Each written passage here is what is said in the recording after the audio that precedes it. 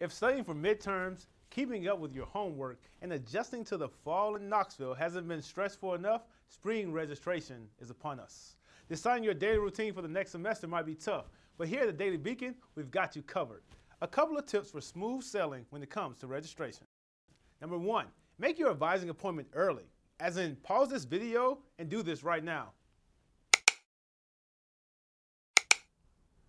Welcome back. Number two, find your department's detailed course descriptions on the UT website.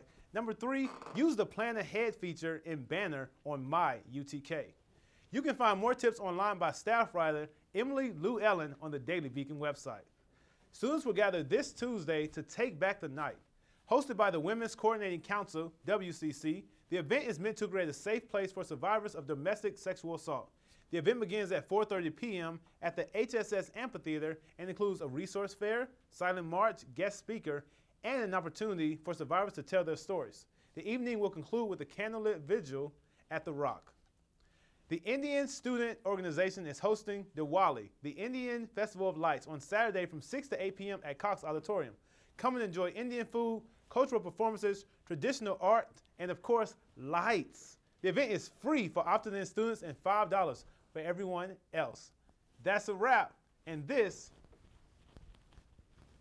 is a snap.